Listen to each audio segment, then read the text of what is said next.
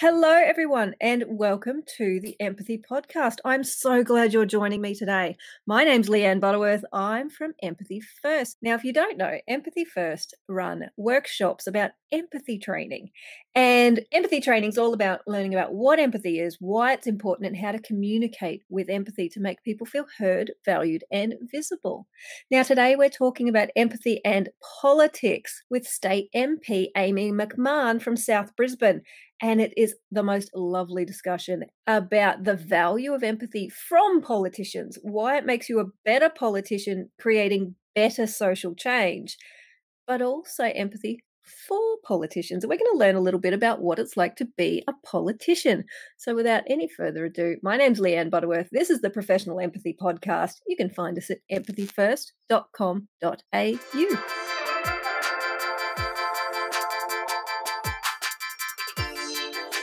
Hello and welcome to the Empathy Podcast. My name's Leanne Butterworth, and today we're speaking about empathy and politics with Amy MacMahon. Amy MacMahon is the Greens MP for South Brisbane, and she was voted in last year, so 2020. Welcome, Amy. Nice. Thanks for having me.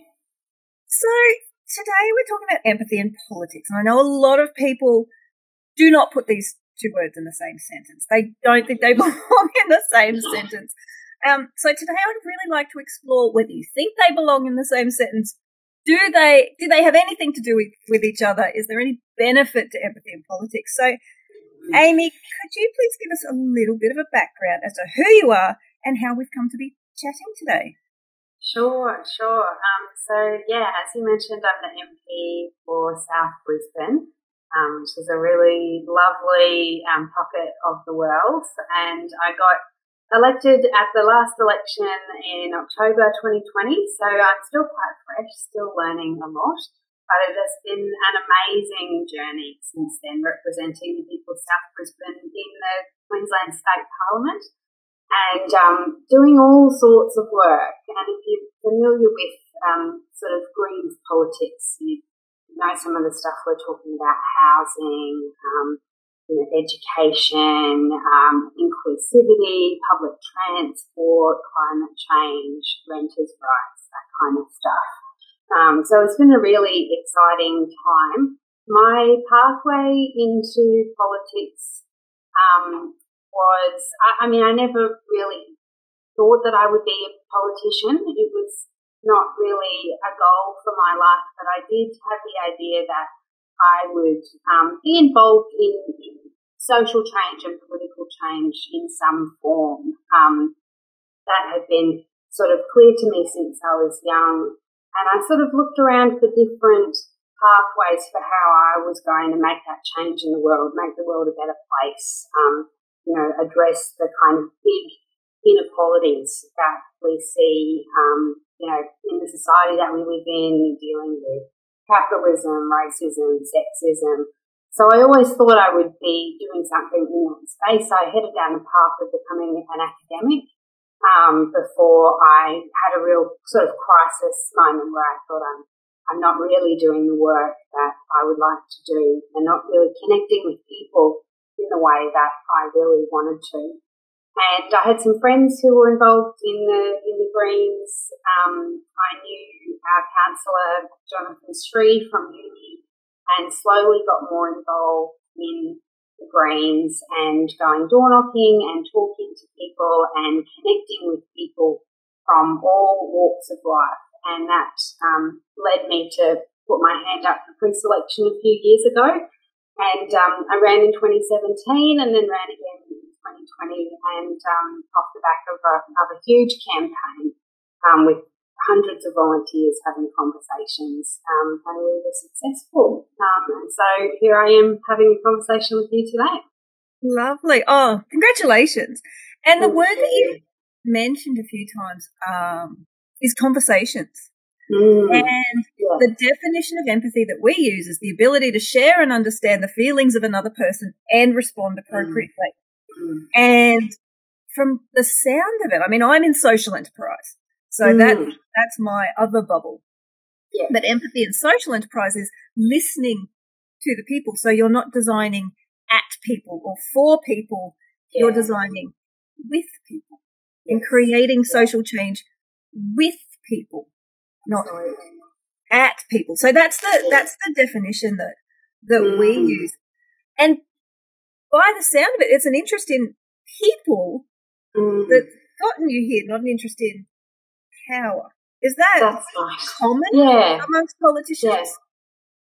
Um, look, I think there would be a mix of people in in all levels of of government. Um, you know, I've definitely encountered um, people who are um, career politicians, I guess, always had an idea that they would be in Parliament and are, are very ambitious in that way, and have met lots of people who are very passionate about their local communities, and that is what really was has driven them.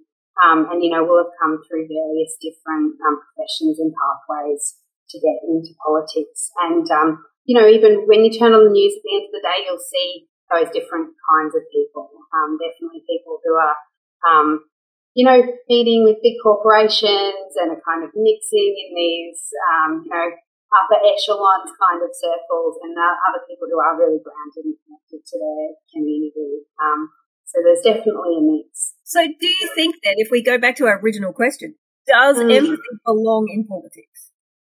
Yeah, I, I think it has to. And I think um, this is probably one of the things that is lacking in politics. And I, I think maybe it's conceptualized differently in political spheres and probably conceptualized differently by everyday people. But if you're not connected and committed to fighting for people and everyday people, then you're going to be, you know, fighting for big corporations. You're going to be fighting for um, big companies to make profits. You're going to be fighting for the billionaires at the top at the expense of everyday people at the bottom. And that's really what we've got at the moment. We have a political and economic system that isn't geared for the vast majority of people. Um, and that's, you know, there's questions around power and privilege and connection that, um, that make up our political system, really. And so I think if you're lacking that connection, you're lacking that empathy. I mean, you look around and you see the outcomes of that. You see the massive inequality that we're facing. You see the, the big systemic injustices that lots of people are facing. You think, you know, there's a lot of work to do. Yeah. So then what are the benefits that you've seen since you've come on board of bringing a more empathetic approach to South Brisbane? Yeah, it's a great question. I think you, you mentioned the conversations before. A big part of the Greens approach to politics and how we've been running campaigns, election campaigns, but also campaigns on different issues is about trying to connect with people and um, one of the big things we do is go door knocking. So we go knock on people's doors. And traditionally, I think people's experiences of door knocking is someone coming to your door and giving you a bit of a spiel about why you should or shouldn't vote a particular way. But the approach that we take is to ask a lot of questions, and ask people, well, how do you feel about politics? What's going on in your local area? What's going on in your life? And then from there, draw out kind of points of commonality and connection. And that has been the basis of a lot of the work that we've been doing over the last few years is to have these in-depth conversations with people and find like, okay, maybe we don't agree on, um, you know, this economic question, but we do agree on this local issue. And from there, we can start to have a conversation and build a connection. One of the most useful questions is just asking people, what do you think about politics in general? And the, the most common response we get is people laughing in our faces because they think politics is a joke. Um, politicians are just out for themselves, and, and this is their reality, and this is people's experiences of politics. They've found um, politicians to be very disconnected from their lives. I think politics is this thing that goes on in Canberra and it goes on in George Street, and the decisions that are made uh, you know, aren't made for everyday people. And that has been a really, really interesting point of connection, being able to say to people, you know what, your, your instincts about politics are correct. Um, we feel the same way. This, this system is, is really broken. And what can we together do to change that? And maybe that starts with your vote. Maybe you volunteer. Maybe you have a conversation with other people in your lives But those conversations that are built on asking those questions and finding those points of commonality um, have been really important and have been, you know, the really the driving force behind our election wins, but also the other campaigns that we've been running um, around things around housing, um, around um, sustainable property development, finding those points of commonality, um, finding those things that people care about locally and systemically and going from there. So, by the sound of it, like you said, door knocking previously was going and spruiking and speaking at people, whereas if you're asking yeah. more questions, but also the difference then between face to face conversations and making people feel heard as opposed to surveys, let's say. Yeah. What yeah. do you what do you find is the biggest difference then between your uh, your constituents' experience? Mm. I think face to face conversations are the the crucial part of this. Being able to see another human being, you know, really be able to listen to them clearly and um, and be with them in that moment is, you know, that kind of personal connection is so important and something you can't get from anything else really. I mean, um, talking on the phone gets close, but even that doesn't really equate to what you get from talking to someone face to face. Obviously, over the last 18 months, it has been really hard given COVID but what we found was um, once things opened up and we were able to go and knock on people's doors, people were really uh, excited and keen to have that that face to face connection. And um, for us, it's also a way of demonstrating that we do care about the community, that we care about what people think to the point where you know we would take out half of our Saturday to go and walk around the streets and try and find um, people and have conversations with them. Or, you know, go and stand by the river and chat to people as they're on their morning walk. And yeah. um, being visible in that way and being able to have that face to face connection has been crucial. Yeah.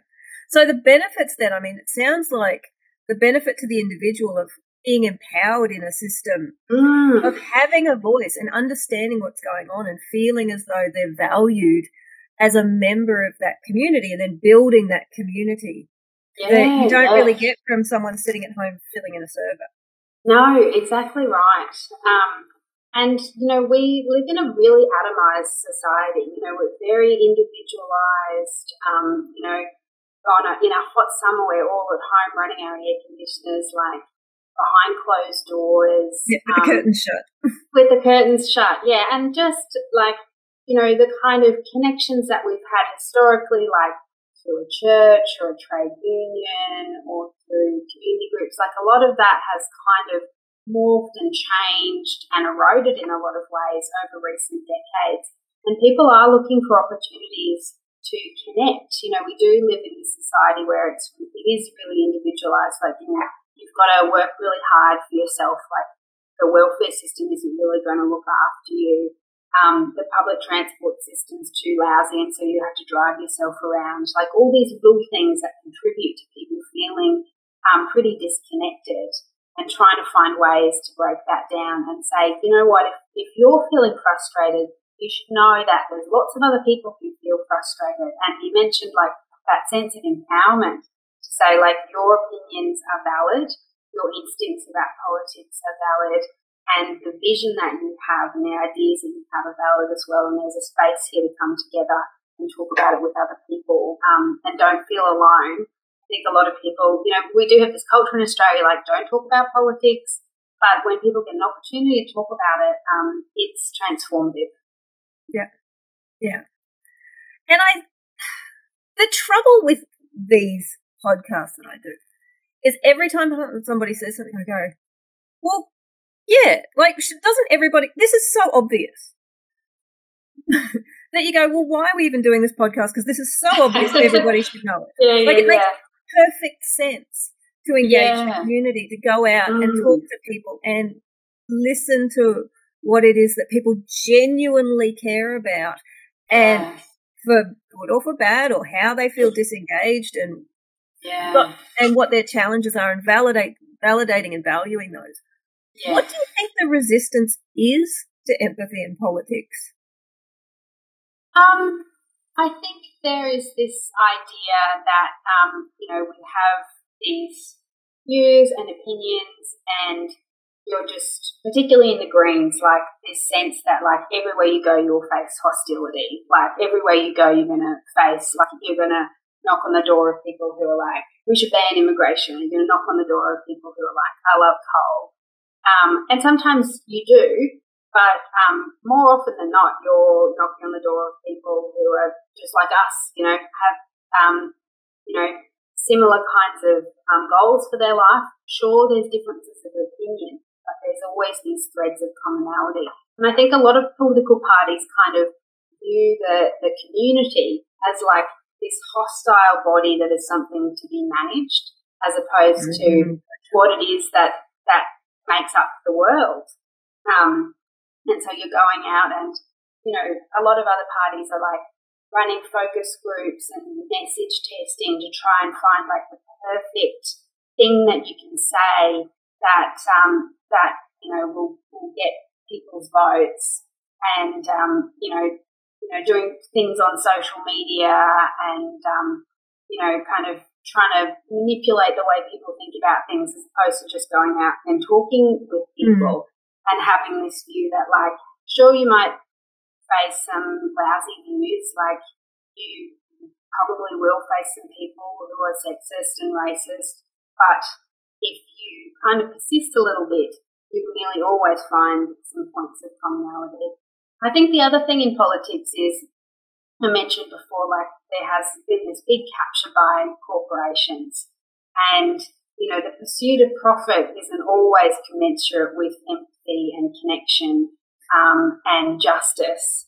And, you know, a lot of like big parties are taking huge amounts of money from fossil fuel companies, from banks, from property developers, and then you end up with decision making that's geared for those companies rather than for everyday people.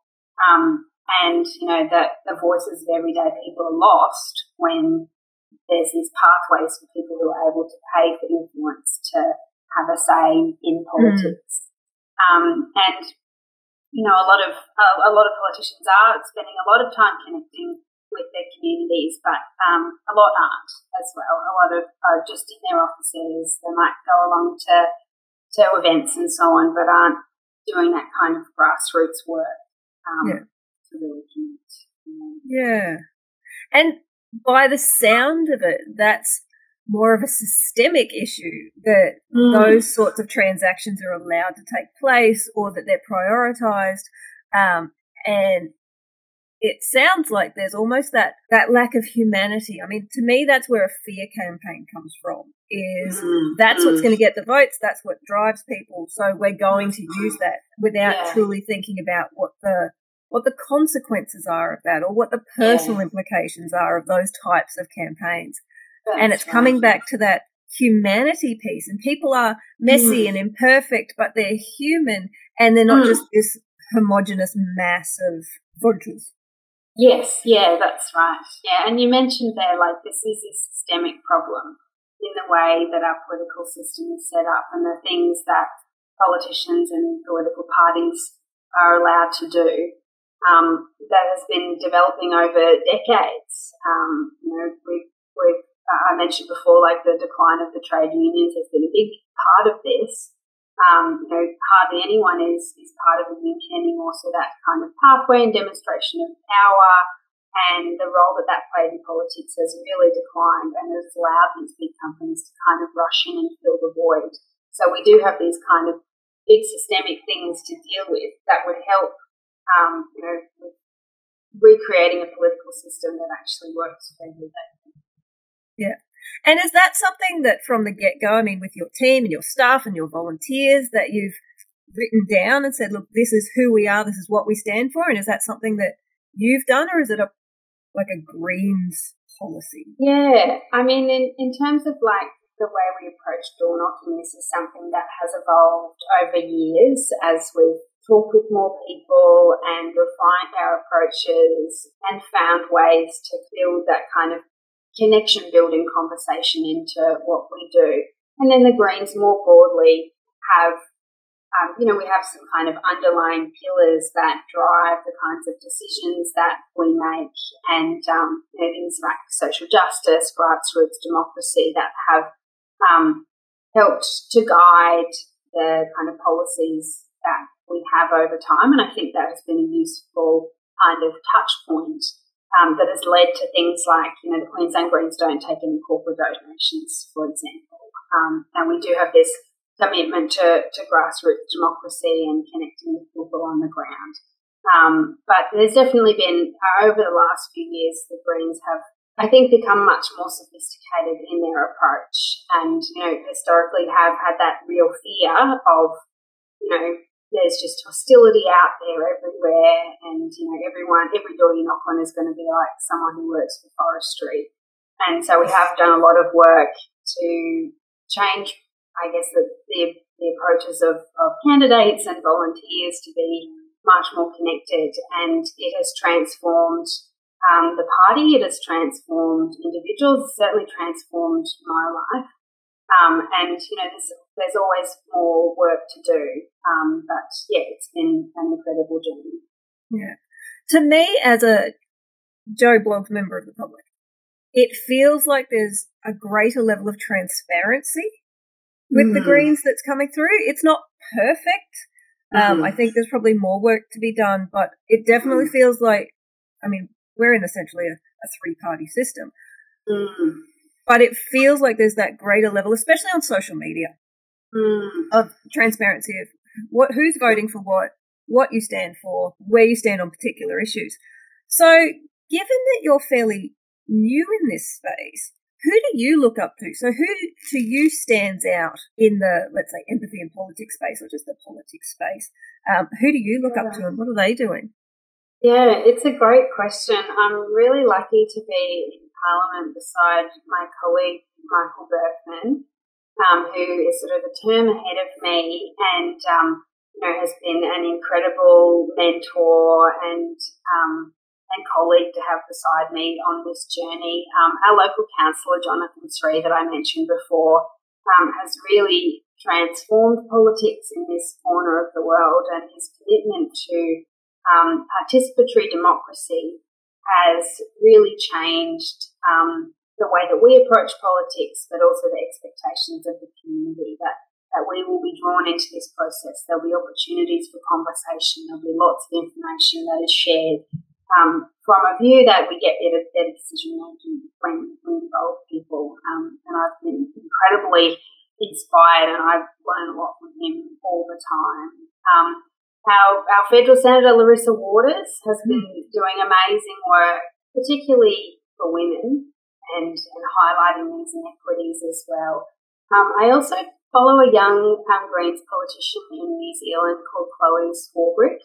She's in her 20s She's absolutely incredible um, and has brought this kind of level of um, transparency and like radical honesty to the way that she does politics and the way that she's connected with people. And I um, follow her very closely and I get inspired by a lot of the work that she does. She's been doing amazing work around um, drug law reform and um, just being really honest with people about her own experiences as a young person, with her friends, um, talking a lot about mental health issues as well.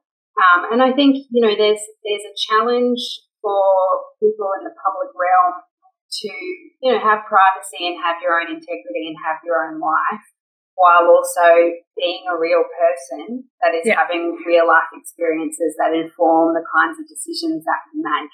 Um, but yeah, Chloe is amazing. I, I'd encourage anyone to, to go and look at her work. It feels like if you're an aspiring politician, getting out there and really looking at not only the benefits of this type of politics, but also what other people are doing in the space mm-hmm. to become inspired. Do you have any advice for potential politicians? Yeah, I think one of the key things is um, you know, if you want to run for a particular area, finding ways to be really connected to the community, finding ways, you know, volunteering with local organisations, having a good sense about what's going on at the grassroots, like what artistic endeavours are going on, like what what neighbourhood houses are doing, um, you know, what First Nations communities have you got in your local area and being really connected there and um, and having conversations with people for years until you have a really good sense about what your community is all about and what people um,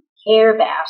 And then thinking, okay, what kind of systemic change do we need um, to address the kinds of issues that, that people are facing? You yeah. know, we had conversations with people here in South Brisbane for years and years and years before we were able to win.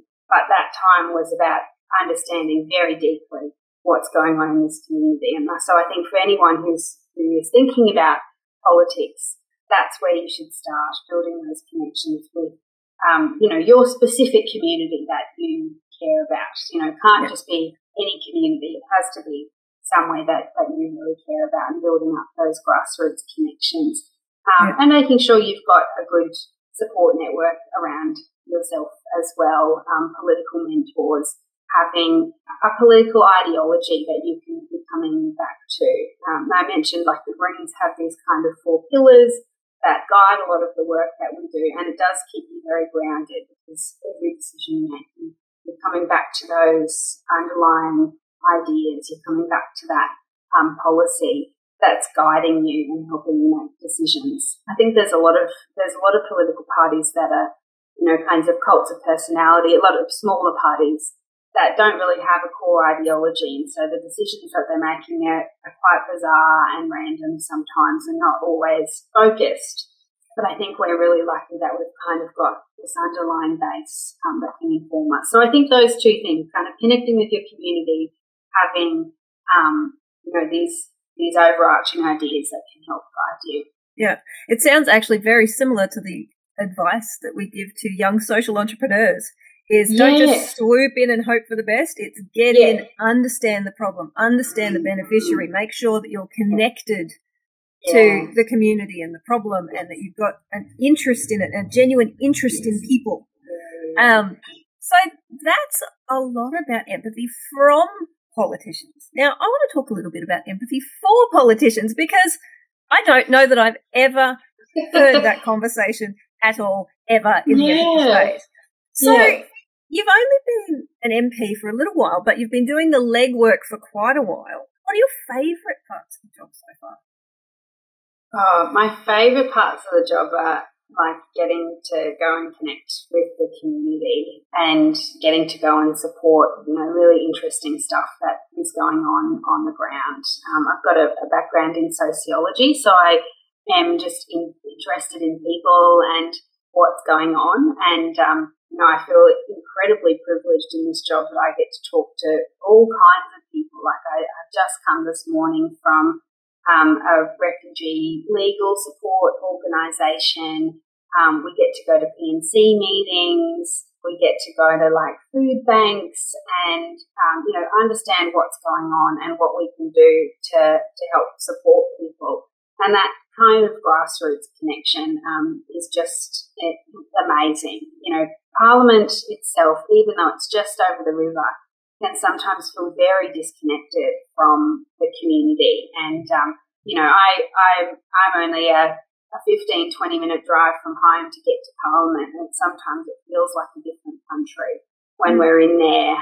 And then when we come out and we get to come back to the electorate and um, get to wander around and talk to people, um, that's really rewarding. Um, and the job is kind of a mix of pushing for this big systemic change, kind of chipping away at this bigger stuff that takes years.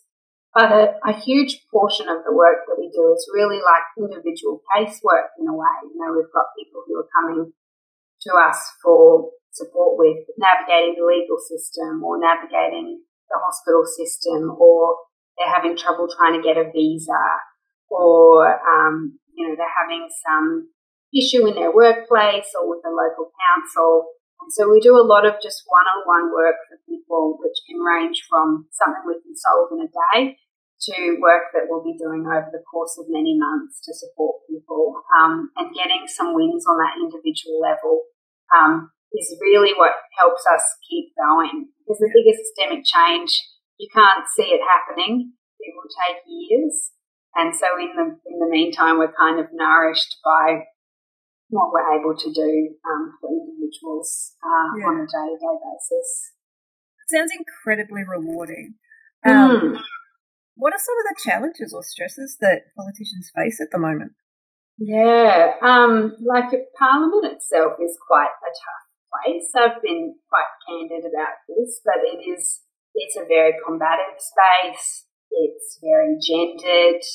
Uh, for us on the crossbench, and particularly in the in the Greens, it um, can at times be an openly hostile place to be. Uh, and everyone has seen videos of Question Time, and you see this kind of theatrical performance of politics. And um, you know, the first, I, I knew it was bad, but the first time I saw Question Time, I like turned to Michael Burke and I was like, is this for real? And he's like, oh, this is pretty normal. and um, it was just incredible. Like, and I think one of the things is that a lot of people in there forget that that isn't the main game. Like, no one, no one in the community is watching Question Time. Like, no one is is keeping a tally of like such and such said this witty thing or like took someone down um, in a particular way. But I think a lot of people forget that and think that this is the main game. And it is, it's kind of this old style of politics that, you know, emerged yeah. in the 1800s. And there's a very particular way of talking and interacting. And it's horrible um, and I sort of have to check myself to make sure that it's not becoming normalized for me, that I'm not like, okay, this is how you talk to other human beings.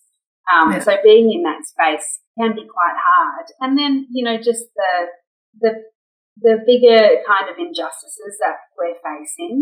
And, um, you know, a lot of people will come to us when they have tried every other pathway to try and solve a problem.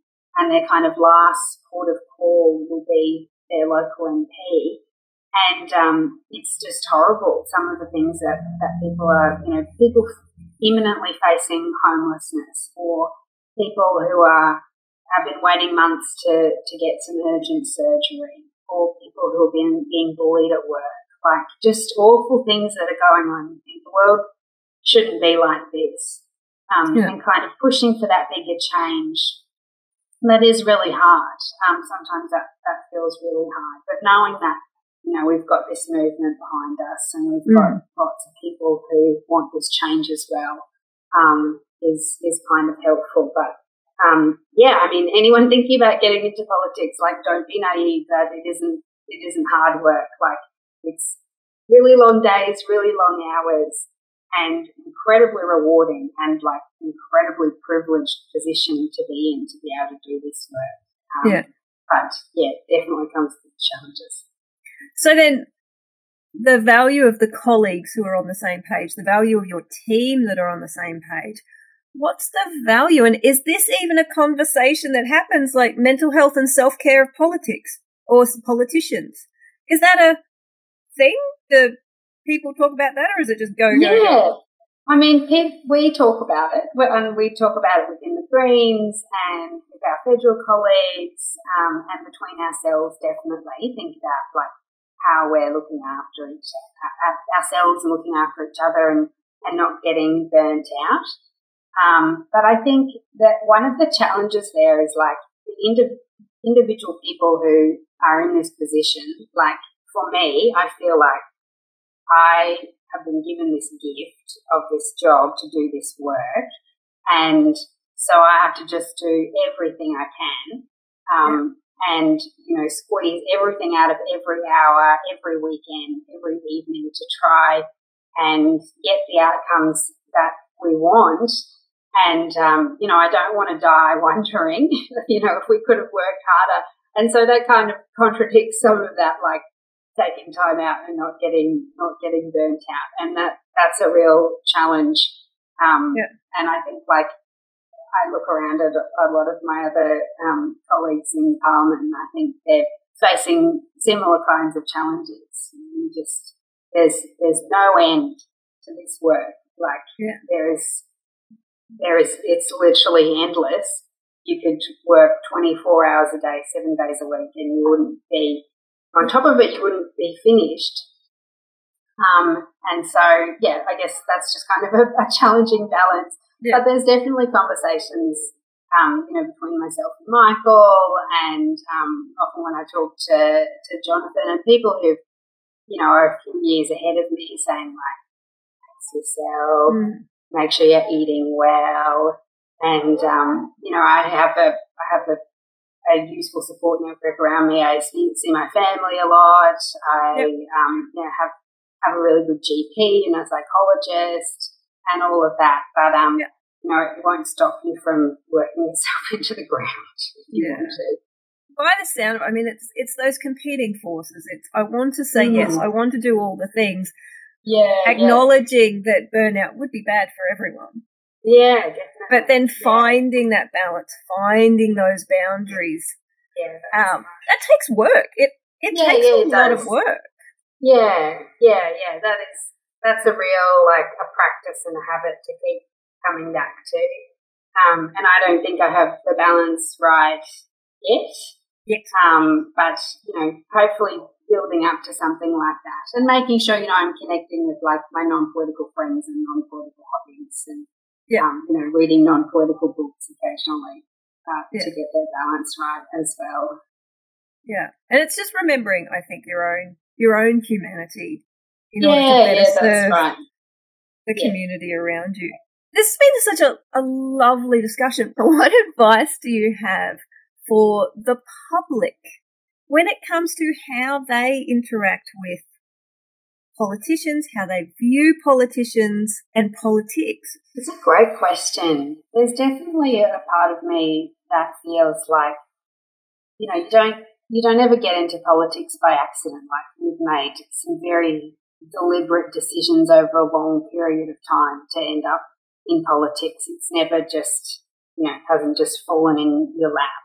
And so in a lot of ways, like you go in kind of open eyed about um, what what it's going to be like and what interactions are like with other politicians and with members of the community. And so there's definitely moments where I think like, oh, like you know, this is this is kind of what we signed up for, and um, you know, if we're getting trolled online or if we're getting um, you know cranky emails, like that is just part of it, and it's balanced out with the good that, you know, and the support that, that we're getting. And I think, you know, if people are out there and they're, they're feeling frustrated with politicians and, um, they're feeling like they're not being represented, like, uh, for a lot of people that will be true. You know, for, a lot of people, you will have a, a local representative who is from a party that takes big corporate donations and isn't really connected to people and, and probably that um, any kind of criticism or anger that you're feeling is, is probably valid. Um, but yeah, I guess remembering like there are people underneath there and there's like ways to talk to each other. Um, yeah, it's tricky to say because I don't, I don't want to say to people like just, you know, don't just treat your politicians like you would treat your next door neighbor because I think it is a different category and, you know, we're being We've, we've been paid by the public. We serve the public. We have a job to do to be representing people. And I want people to hold me accountable as well. Like I want the community to be giving me good feedback. Um, but there's, you know, there's definitely times when you're getting like a, a, bunch of emails over the weekend from people being like, COVID's a hoax and how dare you like yeah. strip away our constitutional rights and stuff like that. Where you're like, oh, you know, uh, we're just trying really hard over here. You know, me and my team are trying really hard. Yeah. Um, so I guess I don't know. Think about the way that the way that you deliver arguments. There's definitely better yeah. ways to get your points across. There's there's useful and unuseful ways to connect with people.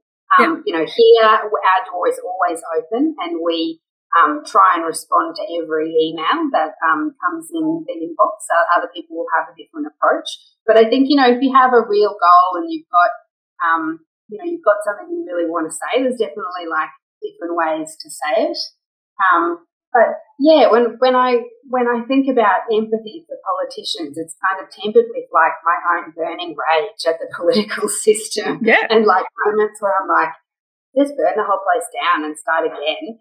Yep. Um, and, you know, yeah, as I said, like no one's gotten in there by accident. And if you're upholding an unjust system, like you do deserve to be criticised, um, and you know to be done in a in a way that doesn't attack you personally or your family um, or your, your health and welfare.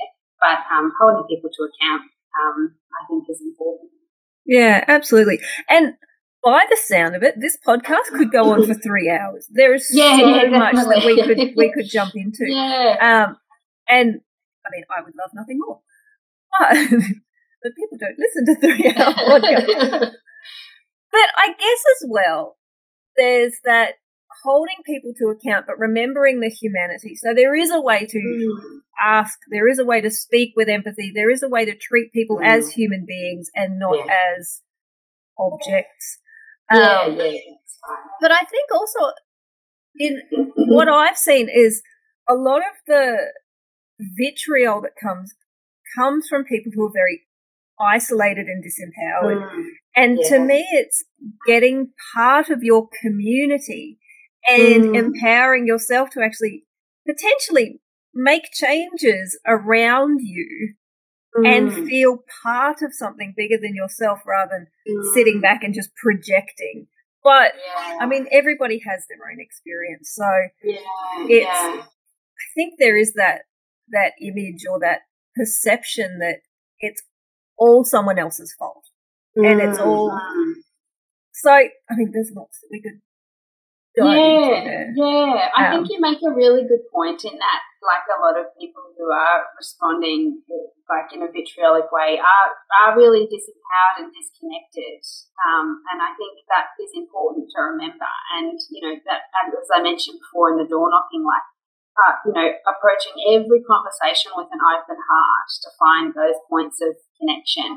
And, um, you know, if people are really frustrated, like there will be lots of other things going on that have led to that interaction. You know, it's not just something that I've done or something that the Greens have done or something that the government has done. There's a lot of different layers and layers there. And, yeah, um, yeah like what you mentioned, like finding those, those moments of solidarity and connection is what will make change. Like the, the number one thing that, that makes change is these big groups of people coming together, working in solidarity, um, you know, across cultural lines, across, um, you know, class lines, across gendered lines to make that change. Um, you're not going to achieve anything just yelling into the void, and it's always that solidarity that makes it work. And so, yeah, finding those pathways um, yeah. is, is really powerful. Yeah, and that's, I guess, a way to subvert the powers of the system and the powers mm. of the mm. media and go, no, no, no, that's what, yeah. that's what's bubbling around up here. That's what you're being told. This yes. is the truth. This is eye yeah. contact. This is transparency yes. and listening. Yeah. And that's where the magic happens. Definitely. Yeah, definitely. Yeah, yeah. I think that's exactly right. Yeah, like for, for me, change happens with those big grassroots movements and representatives who are ready to listen and to, to make that change happen politically, but it doesn't happen without um, those communities on the ground. Yeah. Amy MacMahon, you are pure delight. Thank you so oh, much you. for talking to me today and giving My me your pleasure. time. My like, pleasure. good luck with the work you are doing. And um, thank you. Oh, I follow you on social media now. If people do want to follow you and keep up to date with you and Larissa and Chloe, where can they find you on Instagram? Yeah, so where, what is your preferred platform? Yeah, there's Facebook. Um, if you just search Amy MacMahon Greens, you'll be able to find it on Instagram. I'm Amy Mac South Bris, um, and the same on um, Twitter as well. Um, if you want to go and have a look there, um, or you know, pop into our office. We're at um, 90 Vulture Street in West End always happy to uh, have a cup of tea, have a chat. Um, would love that. Lovely. Thank you so much, Amy. My pleasure. Thank you. Thank you so much, Amy. That was lovely. Oh, what amazing work you are doing. I hope you have all the strength and self care to keep on doing what it is that you need to do to get out there and meet the people and make the real difference that you want to make. And like you said, listening is the absolute key to positive social change. To make people feel heard, valued, and visible is where the magic happens. So if you do want to find Amy, she is on Instagram, Facebook, Twitter, or like she said, rock up to her office in South Brisbane for a cup of tea and a chat. My name's Leanne Butterworth. That was the Empathy Podcast on empathy and politics. You can find me at empathyfirst.com.au or for your daily dose of empathy inspiration, go to Empathy First HQ on Instagram. Thanks for joining us. We'll see you next time.